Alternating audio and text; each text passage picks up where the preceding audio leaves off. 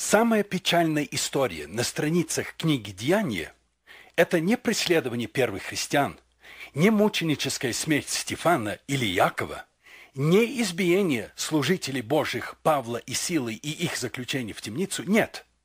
Самое трагическое событие – это история, записана в пятой главе этой книги. Грех Анании и его жены Сапфиры. Многие из моих слушателей хорошо знакомы с этим трагическим случаем, и все же думают, что будет полезно, если мы прочтем о происшедшем. Повествование начинается в первом стихе пятой главы и заканчивается десятым стихом этой же главы. Я читаю. «Некоторый же муж именем Анания, женою своею Сапфирою, продав имение, утаил из цены, сведомо и жены своей, а некоторую часть принес и положил к ногам апостолов. Но Петр сказал, «Анания, для чего ты допустил сатане вложить в сердце твое мысль солгать Духу Святому и утаить из цены земли? Чем ты владел? Не твое ли было? И приобретенное продажею нет в твоей ли власти находилось? Для чего ты положил это в сердце твоем? Ты солгал не человеком, а Богу. Услышав сие слова, она не пал без дыханин. И великий страх объял всех, слышавших это. И вставшие юноши приготовили его к погребению и вынесши похоронили. Часа через три после сего пришла и жена его, не зная о случившемся. Петр же спросил ее, «Скажи мне, за столько ли продали вы землю?» Она сказала, «Да, за столько». Но Петр сказал ей, что это согласились вы искусить Духа Господня? Вот входят в двери погребавшие мужа твоего, и тебя вынесут. Вдруг она упала у ног его и испустила дух. И юноши, вошедшие, нашли ее мертвую и вынесли, похоронили подле мужа ее. И заканчивается эта история такими словами. «И великий страх объял всю церковь и всех слышавших это. Нужно иметь в виду, что это событие связано со сказанным ранее, в конце предыдущей, то есть в четвертой главе. Там, в двух коротеньких стихах, представлен другой человек по имени Иосия, то есть Иосиф. О нем тоже сказано, что у него была своя земля, которую он продал, и вырученные деньги положил к ногам апостолов.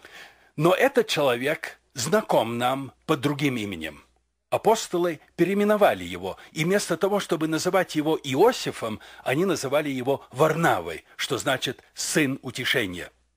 И назвали его так, потому что у него было замечательное качество – способность утешать. За основу имени Варнава взято слово «параклетос», тоже слово, которым Христос называл Духа Святого «утешитель». «И я пошлю вам другого утешителя», сказал Иисус своим ученикам, имея в виду Духа Святого. То же значение имеет имя Варнава.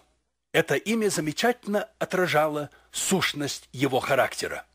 Позже мы поближе познакомимся с этим удивительным человеком. Хочу добавить, что это моя любимая личность на страницах книги «Деяния».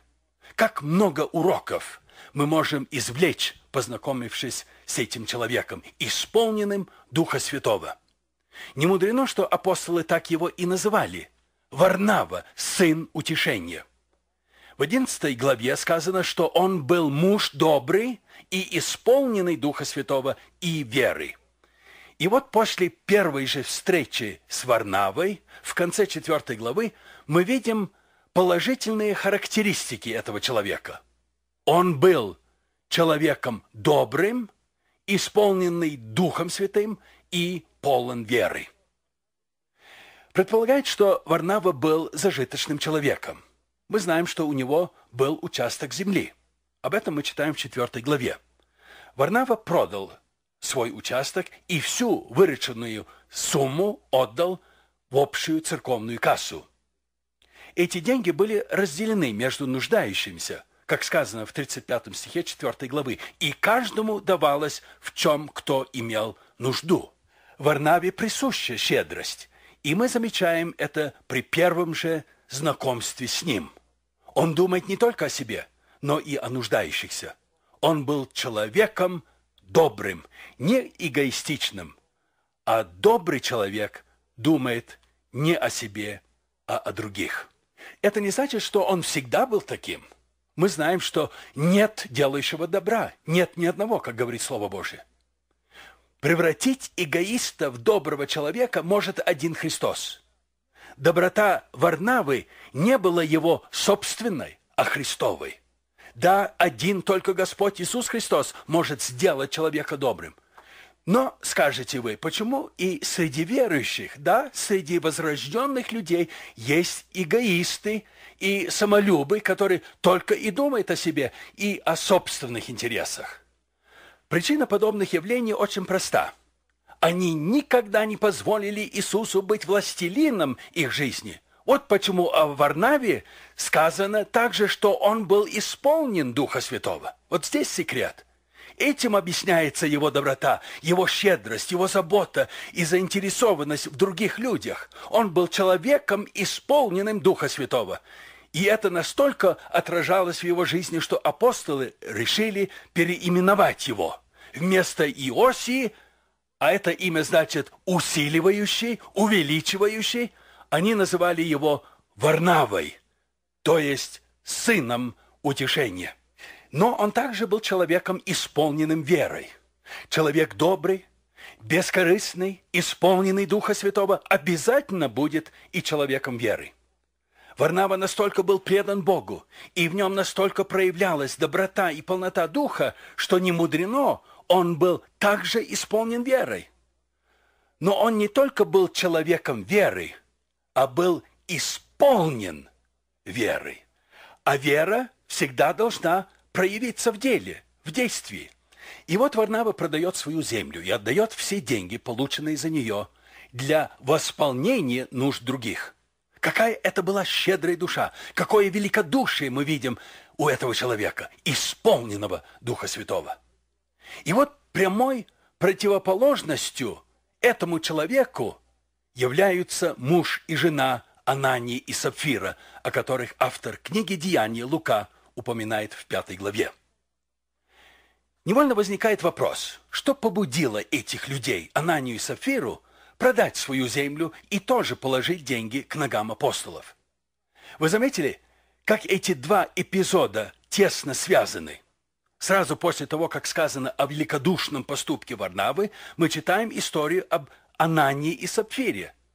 Заметьте, как сказано в нашем русском переводе. «Некоторые же муж именем Анании, женой своей Сапфирою, продав имение, утаили из цены и так далее».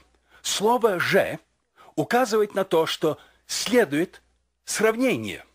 Другими словами, Варнава поступил так и так, а Нани же поступил по-другому. То, что эти два события записаны в двух разных главах, не должно отвлечь нас от цельности текста. Ведь Библию разделили на главы и стихи намного позже. Деление на главы и стихи не было в тексте оригинала, то есть в подлиннике – из текста видно, что автор намерен был указать на контраст между поступком Варнавы и этих двух людей. И вот когда мы читаем текст, становится ясно, что Анания, видя поступок Варнавы, хотел показать, что он сам не хуже. Притом, видя, какое внимание уделялось Варнаве за его добродетели, Анания позавидовал ему. И вот, чтобы обратить внимание на себя, он – сговаривается со своей женой, и они принимают решение продать некоторые имения и положить деньги к ногам апостолов, как это сделал Варнава. В глазах церкви Анания хотел выглядеть не хуже Варнавы и выдавал себя за щедрого добродетеля. Имейте в виду, что никто не принуждал верующих продавать принадлежавшие им и разделять деньги между нуждающимся – на этот счет не было каких-либо законов или церковных постановлений. Каждый жертвовал абсолютно добровольно. А о том, что это было добровольно, мы узнаем из слов апостола Петра. После того, как Бог открыл ему, что она не пошел на обман, утаив из цены, полученный за свое имение, Петр говорит ему, «Чем ты владел, не твое ли было, и приобретенные продажею не в твоей ли власти находилось?» Вы понимаете, даже если бы, продав свое имение, она не дал только часть, но не скрывал этого, не делал вид, что он все отдает, в этом не было бы ничего грешного. Но его грехом было то, что он солгал, он слицемерил. И за этот грех Анания и его жена были осуждены. А началось все это с зависти. Анания и Сафира стали ревновать, и зависть погубила их. Слово Божие говорит, люта, как преисподняя ревность. Стрелы ее, стрелы огненные, она пламень весьма сильный. Ревность Анании и Сафира дала место дьяволу в их сердце. Они позавидовали, и, как Петр говорит, Анания, для чего ты допустил сатане вложить? В английском переводе сказано «исполнить сердце твое мыслью, солгать Духу Святому». Насколько имена этих людей не отражают их сущность? Имя Анания означает «Божья благодать», а Сапфира значит «красивая». Насколько имена их не соответствовали тому, чем они были на самом деле? Помните, что Христос должен был сказать Сардийской церкви? Это записано в третьей главе книги Откровения. «Знаю твои дела. Ты носишь имя, будто жив, но ты мертв». И дальше Господь предупреждает, если же не будешь бодрствовать, то я найду на тебя, как тать, и ты не узнаешь, в который час найду на тебя. Вы заметили, в чем заключается грех членов этой церкви, хотя не всех. Были, которые не осквернили одежд своих, как говорит сам Господь. Грех этих людей заключался в лицемерии. Они притворялись и выдавали себя не за тех, кем они были. Они носили имя, будто живы, но в действительности они были мертвы. Их грех был грехом лицемерия. Христос предупреждает, что если они не покаются, то суд неизбежен. Если говорить о том, какой грех Бог больше всего ненавидит, то это лицемерие. Вы заметили, что самыми суровыми словами Христос обращается к лицемерам, и самое большое наказание ожидает притворщиков. Какие резкие и обжигающие слова были сказаны Господом таким людям. Почему? Потому что лицемерие основано на лжи. Ты солгал не человеком, а Богу, говорит Петр Анании. Анания хотел выдать себя не за того, кем он был – и почему? По той причине, что позавидовал и хотел, чтобы о нем и о его жене Сапфире думали как о добрых, исполненных Духа Святого и веры людях. Да, люта, как преисподняя ревность, стрелы ее, стрелы огненные, она пламень весьма сильный. Не в опасности ли все мы? Не виновны ли мы в этом грехе? Смотрите, к чему он приводит человека. Верующий начинает завидовать другому. Почему у меня нет такого дара, как у него, например? Почему ее все хвалят, а на меня не обращают внимания? Где же справедливость? Все эти чувства исходят из нашего падшего человека. Ревность как раз противоположна любви. Любовь крепко, как смерть. Большие воды не могут потушить любви, и реки не зальют ее. Так сказано в книге «Песни песней». А в Новом Завете Павел говорит, любовь долготерпит, милосердствует, любовь не завидует, любовь не превозносится, не гордится. Анания и Сапфира поступили не по любви. В их сердцах не было любви Божией. Если бы они любили Господа, то не завидовали бы. Они поручили бы себя ему и были бы довольны тем, что Господь дал им. Но они не знали Господа. Они подобны тому человеку из Христовой притчи, который закопал в землю свой талант. Не потому, что у него был только один талант, но потому, что он не знал господина своего. Своими же словами он выдает себя. «Господин, я знал тебя, что ты человек жестокий, жнешь, где не сеял, и собираешь, где не рассыпал». И убоялся, и пошел, и скрыл талант свой в землю. Нет, он его вовсе не знал. Господин его был справедлив, он был добр. Он дал каждому по его силе. И он не требовал от получившего, например, два таланта, чтобы он возвратил десять. Нет, каждому по силе его. И заметьте, что тот, который получил пять, и тот, который получил два, оба получили одинаковую похвалу от хозяина, когда он вернулся и попросил дать отчет. Им было сказано «Хорошо, добрый и верный раб». В малом ты был верен, над многим тебя поставлю. Войди в радость господина твоего. А тому, который закопал свой талант, ему господин сказал, «Лукавый раб и ленивый, ты знал, что я жну, где не сеял, и собираю, где не рассыпал. Посему надлежало тебе отдать серебро, мое торгующим, и я пришед получил бы мое с прибылью. Итак, возьмите у него талант и дайте имеющему десять талантов». Вы заметили, он потерял все. Этот человек из притчи был движим эгоизмом, неверием и самолюбием, подобно Анании и Сапфире. Они жили во мраке, хотя были окружены светом, и потому они поступили как дети мрака. И в результате они потеряли все. То, что они думали обманом сохранить для себя, погибло вместе с ними. Они больше возлюбили мзду неправедную, чем жизнь с Богом, который всегда ведет к великому вознаграждению. Какой яркий пример эгоизма, лицемерия и лжи мы видим в Иуде. Иуда возлюбил 30 серебряников. Но вы заметили, он никогда не смог ими воспользоваться. Они потеряли свою покупательную силу. Ни Иуда, ни Анания и Сапфира не имели возможности воспользоваться тем, что они нечестно присвоили себе. Таков неумолимый закон нечестности. Но, может быть, у кого-нибудь возникает вопрос, почему сегодня мы не видим подобных проявлений Божьего суда над этим грехом лицемерия? Конечно, мы не можем дать исчерпывающего ответа на этот вопрос. Сардийскую церковь Христос предупреждает, что если они не покаются, то Он найдет на них как тать, то есть как вор, и они не узнают, в который час найдет на них. Иуда вскоре удавился. Над Ананией и Сапфирой моментально совершился суд Божий. Поэтому, если ты, мой дорогой друг, виновен и еще не покаялся, знай, что суд Божий может постигнуть тебя в любой момент. Если суд еще не настиг тебя, то немедли, мой дорогой друг, покайся, пока еще есть время. Помните слова Христа о Изавелле?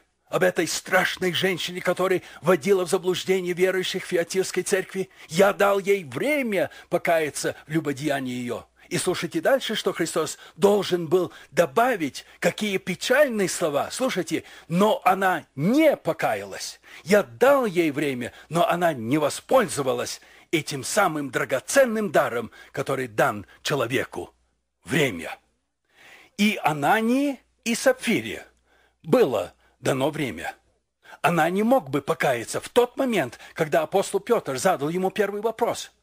Петр задал ему три вопроса, и после первого же он мог бы покаяться. Она не для чего ты допустил сатане вложить в сердце твое мысль солгать Духу Святому и утаить из цены земли?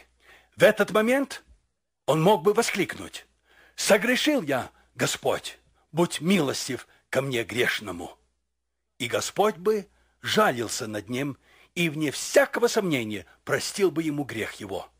Но нет, она не отклонил предоставившуюся возможность покаяться. Он думал, что все же сможет обмануть и людей, и Бога. То же самое можно сказать и о его жене Сапфире. И ей дана была возможность исповедовать свой грех и покаяться, но она отказалась от этой возможности. Судьба ее души висела на волоске.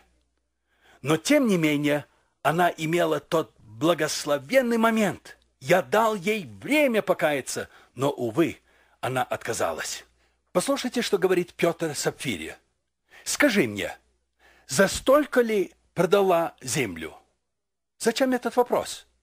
Петр дает ей возможность покаяться, признать свой грех. Этот вопрос как бы призывает ее к исповеданию, к покаянию. И затем следует три роковых слова. Три слова, которые раскрыли перед ней дверь в ад. Да, за столько. Эти три слова в ответе Сапфиры решили ее вечную судьбу. Осудив на вечное мучение, которому не будет конца. Ни Анания, ни Сапфира не ожидали, что за обман, за ложь и лицемерие они так скоро постижно окажутся в вечности, и притом в вечности не с Богом, а вечности с дьяволом и с его ангелами. О, какой это серьезный вопрос, мои дорогие друзья. Где будешь вечность проводить? Как неразумно откладывать спасение нашей бессмертной души. Человеку, думавшему, что впереди еще много лет жизни здесь на земле, сказавшему душе своей, душа, много добра лежит у тебя на многие годы. Покойся, ешь, пей и веселись. Ему Бог говорит, безумный, в сию ночь душу твою возьмут у тебя. Кому же достанется то, что ты заготовил? Этот человек из Христовой притчи думал только о временной жизни. Он не позаботился, даже не подумал о вечности. Его Бог называет безумным. Действительно, какое безумие, дорогие мои, не приготовиться к вечности. Какая польза, мой друг, если ты приобретешь весь мир, а душе своей повредишь? Или какой выкуп дашь ты за душу свою? Как ты ответишь на эти вопросы? Даже если твой грех такой же гнусный, пагубный, как грех Анании и Сапфиры, но если ты сейчас покаешься, исповедуешь свой грех, притворство и лицемерие, и призовешь имя Господне, то Он тебя спасет. Это о тебе Господь говорит сегодня. Я дал ей я дал ему время покаяться. Неужели он должен сказать, а он или она не покаялись? О, что дали бы Анани и Сапфира, если бы повторился тот момент, когда им предоставлена была возможность покаяться. Но, увы, теперь поздно. Мой друг, подумай, если ты упустишь эту возможность и переступишь порог вечности – то попадешь в огонь и в мучение вечное. Чего бы ты только не дал, чтобы еще раз услышать призыв, который ты теперь слышишь. Проверь себя, дорогая душа, спасена ли ты? Действительно ли тобой пережито возрождение, рождение свыше? Или ты просто носишь имя, как будто жив, но ты мертв? Ты не знаешь Господа.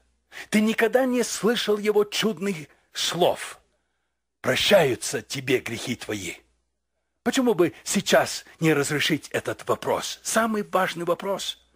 Важнейший из всех вопросов. Где будешь вечность проводить?